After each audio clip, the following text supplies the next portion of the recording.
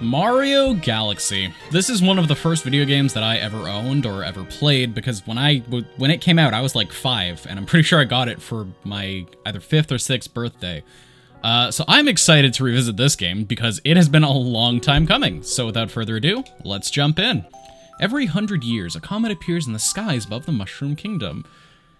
This was always such a hype intro to, well, not hype necessarily, but like the storybook vibe that this game goes for is pretty unique, I think. And I know there's other Mario games like Paper Mario that have a similar storybook type vibe, but I just like how a lot of the exposition for this game was done in the form of a children's story because it really fits, especially when we get a bit later and we meet Rosalina and the Lumas and all them. It's it's just it, it's a good way of cementing her role as the mother figure of the Lumas and kind of the game overall.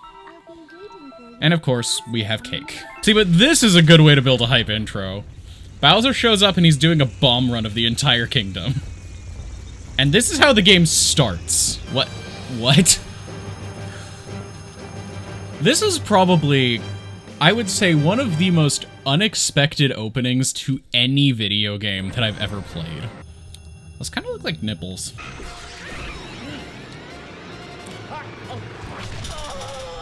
Mario somehow survives this. Do not worry about how. The game is telling me that I can control the camera with right stick. The game is lying. Which really sucks, because I would actually like to be able to do that. Oh, I see. Not this crater, the other crater that's here. My mistake. Get over here. Get... I will catch you. yes. And here's the Mario character that everybody thirsts for in a totally platonic way, myself definitely not included. Rosalina. It is insane how much popularity this character gained, though, because she is in one game as a main focus, and yet she is probably one of the most common to see Mario characters nowadays. Although, I will say, Pauline has pretty stiff competition in that regard. Like, she showed up exclusively in the first Mario game, and then she showed up in Odyssey, and now she's just in everything since. It's kind of amazing. Because she has even less of a role in that game than Rosalina does in this. Because Rosalina is actually super important, and Pauline is in, like, one area.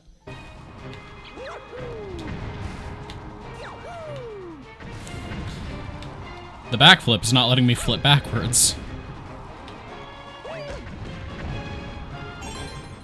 Alright.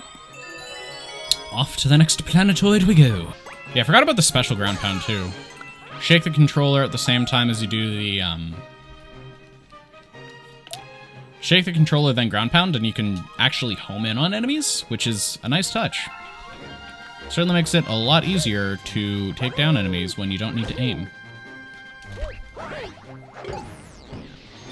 And it gets you a much cooler animation. I don't know what it is, but dive kicking is just better than slamming your butt into somebody's face.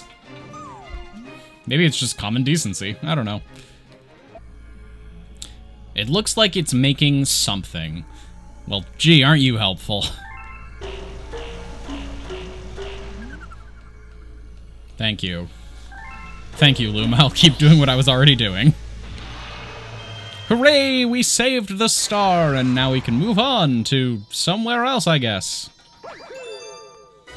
I do love the sound, the triumphant sound at the end of this level, though. The Grand Star Collection sound is great.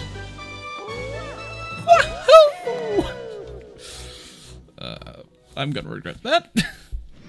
you know, of all stages in Smash Bros., I am genuinely shocked that this is not one of them. The Grand Comet Observatory would be the perfect place for a Smash stage.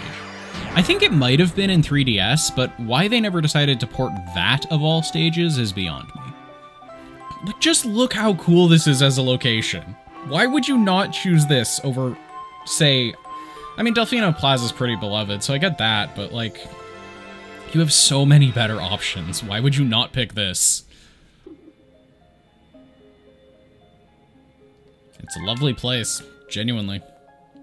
Oh, more story time. How old is Rosalina, actually? Like, we know she's at least 100, and by this implication, several hundreds. But, uh, we never really get much confirmation about her. I think that's part of what makes her so fun, though, is there's such little known about Rosalina, and she's such a fundamentally interesting character with her history and Mario lore, and especially what happens at the end of the game, that I feel like she would just be one of the most interesting characters to do deep dive into. Uh, but Mario's always been pretty sparse on lore, so I guess I shouldn't expect too much. And I still can't freely control the camera. Crap. Hmm. I think that's for Luigi, which I don't know if I'll do a second playthrough of this game as Luigi, but, uh... I mean, he is the better bro in my opinion, so I would be open to it. I'm also probably gonna do the... Because I'm playing this on the, um, the collection that came out as a three-pack with 64 and Sunshine, so I'll probably get around to playing those as well at some point. Which, by the way, terrible practice that Nintendo did with that, making it a physical copy only limited time release for no apparent reason. I'm, i get why, because money, but it's just like, come on, have a little a little bit of shame. Especially considering how much they crack down on people pirating. Which, I mean, I get it, it's your intellectual property, you want to make sure it has its value. But come on, you're just making it harder for people to enjoy your games that they probably grew up with. Evil energy readings are off of the charts. Their power levels are all over 9,000. You're in grave danger. One thing about 3D Mario games that I do kind of, I wouldn't say dislike per se, but is disappointing, is how little power-ups are utilized. I get that with the way the game is designed, they don't really need to be here, but I just feel like it would be a nice touch. And uh, yeah, like there are a few areas where you can use them too, but it's not enough in my opinion, and whenever they are, they're more like gimmicks rather than actually I think Galaxy 2 does a much better job of it, where they actually have an impact on level design. But like a majority of the time in this game, it's just, oh, here's a thing that you can do, and you need to destroy all these crates with Fire Flower. And it's completely optional and has nothing to do with the main level, but you can do it if you want to get 100% completion. So, fun fact about these meteors. You can actually destroy them, but the timing is pretty specific. He says accidentally doing it a second time without trying. And that's why you don't get cocky, kids. Nope. Oh, no. Ah, uh, that was unfortunate. That's an embarrassingly bad death. Oh, so you can use star bits to get coins too. Or run-ups too. Alright, time for the first boss fight of the game. A giant egg with a tail. Never mind, it's just a dinosaur. A plant-based dinosaur. I think this is what PETA classifies as their secret weapon, actually. Oh, you take four hits. Well, aren't you a deviation from the Mario formula? Not enough to save you, though. First star acquired. No problem. Hmm. So what you're saying is they're basically pure space cocaine. His reaction is not doing much to convince me that this isn't pure space cocaine. A snack of cosmic proportions. Ah yes, we're getting the munchies. I like the idea that Mario is just going on an intergalactic snack run for these guys. That's pretty funny to think of. I wonder if he charges his flat fee or if it's like by a la carte. Dun it, did it, did it.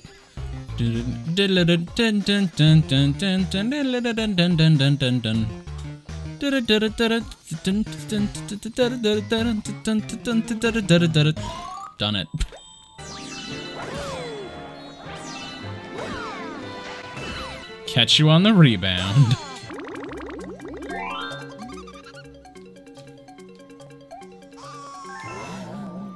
And that, ladies and gentlemen, is how you birth a galaxy. Just feed a star a bunch and eventually it forms a new planet. Don't question it. Science doesn't care. I've done research myself, but it's been mostly inconclusive, unfortunately. Oh, hey, nice, you can do it that way. I was really hoping I'd be able to cheese it like that. For no benefit whatsoever. And you'll notice there's a lot of Pull Star chips here, but uh, you don't need them. I saw the star bits and instinctively tried to turn my controller up to go grab them. Huh. I didn't think you'd be able to go in there with the warp star in the way. Oh, well, works out for me. What's on the rest of the planet, actually? Because you're obviously supposed to go through the warp star, but I want to check. Your reward for your desire to explore is star bits. which are literally so dime a dozen they fall out of the sky.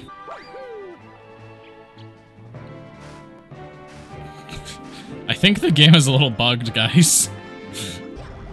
You know, the layout uh, the ability to jump really makes all the difference in this game when you can kind of just walk past the electric fences. Ignore the fact that I got hit by one. Oh, bullet bills in this game are so cool. Like, they're, they're almost never a threat, but in this game, they're just a heat-seeking missile that will destroy you if you're not careful. And I absolutely love it. You guys ready for some calamari?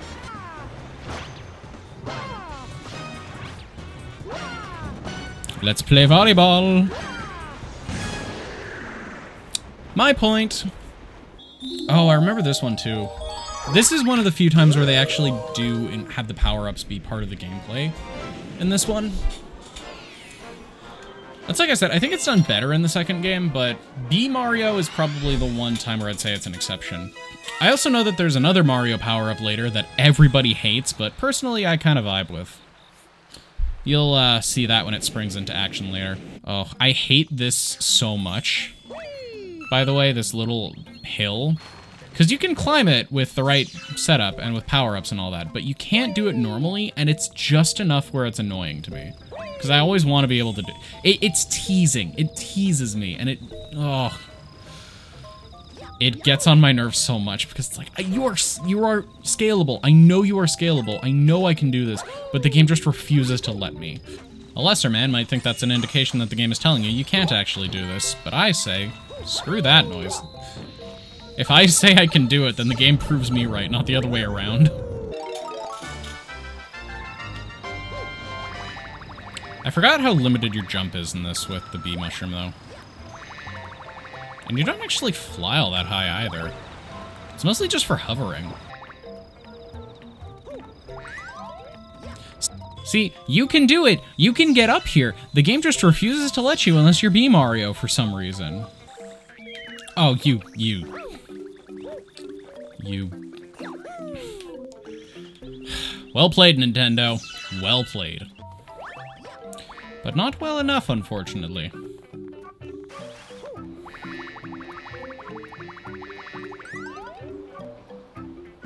Okay, maybe it is well enough. this has got to be the most uncomfortable textured honey that I've ever seen. It just looks like mucusy, if you know what I mean. Which sucks, because I actually really like honey, and this is kind of turning me off. Hmm. I see what I must do, but I don't know if I'm strong enough to do it. Uh, oh, I don't... This is genuinely deeply uncomfortable. it just feels so awkward. Like, I... I don't know how to describe it, but I, I, I don't think anybody would want to be in this position you know? And the fact that you're forced to be is not fun. Maybe I'm overreacting, but I don't know. This just feels very deeply uncomfortable. Also, she has her own gravitational pull, which I uh, just noticed. I mean, technically every living, everything does, actually. It's just too weak to notice on most things. But that was enough to pull Mario back, so she is one heavy bee. I can't believe it, but I've gotten my fourth star? Eh, who knows. Garbage pun, and I got it. So let's move on. Ah, five. I can't count, apparently. What else is new? I remember this one sucked on the Wii, so let's give it a whirl. Oh, I have to turn my controller completely 90 degrees. That's awful. Actually, honestly, that deep of controls for turns might actually be a benefit more than a detriment now that I'm trying it out. Oh, this is why it was so awful. The waves the waves just absolutely mess with your depth perception, I feel like. Or not depth perception, your ability to turn. Whenever I get into playing a game and I'm trying to still do commentary... like that, where the waves lost me the one-up.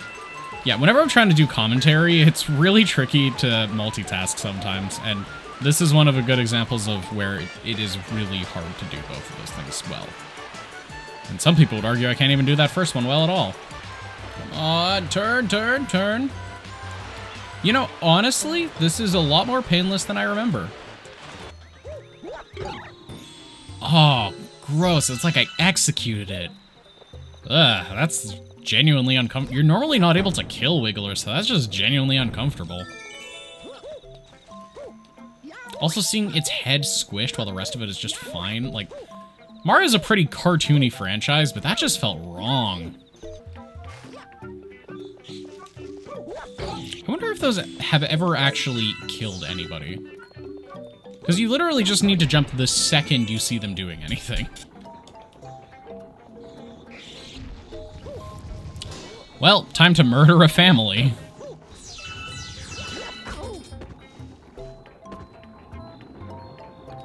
So I'd like to retract my previous comments about those things being super easy to kill. In actuality, they are the most difficult enemies in the game, and it's definitely not me trying to hide up the fact that I got hit by it. Definitely not at all.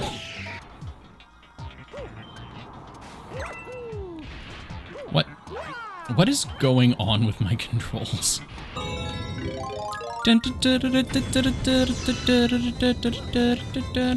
I'm stuck on this fence post. Where's my free one up? Alright, time to play the waiting game. I got bored of waiting. Huh. I've never landed on it before, so I didn't know that it stalled in midair if you did. Alright, that's every star in the galaxy except for the boss. So I think you know what that means. Time to end the video. Please like, subscribe, comment, yada yada yada, and all that good stuff, and I promise I'll beat the boss in the first thing next level. I'm kidding, of course, we'll do the boss. I guarantee you I got absolutely nobody with that bit, but you gotta plug yourself every now and again, so... Uh, take it for what it is, a very poor sub-plug. but please do, though, it would really help me out. Oh no, here comes the gremlin. What's, what, what's playtime today, buddy? And here we go, a peak example of Mario game design, and just, just look at this thing. Like, this thing is so unbelievably cool. It's got a Darth Vader helmet, and is absolutely intimidating and so cool to look at. And you want to know how easy it is to take down? It doesn't even move. Okay, Megaleg, you're doing a bad job proving my point of not moving. But it's such a cool design, and it's ultimately such an easy boss. So of course I still die to it.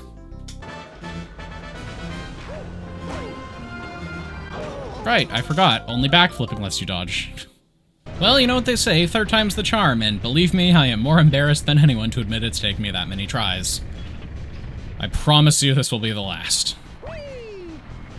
If only for the sake of my own dignity.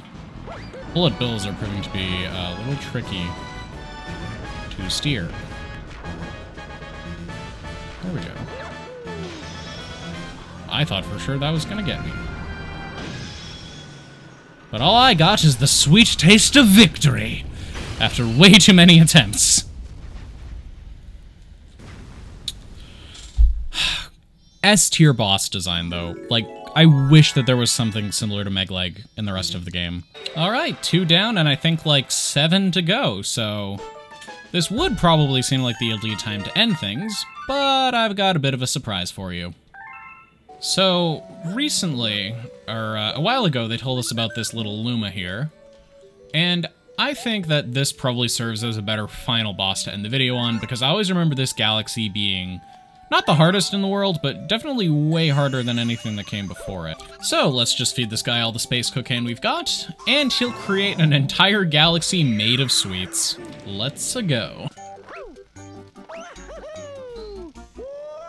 I honestly think the entire reason I might be thinking this galaxy is tough is because I'm too impatient for it. Uh, wow, that is way shorter than I remember it being.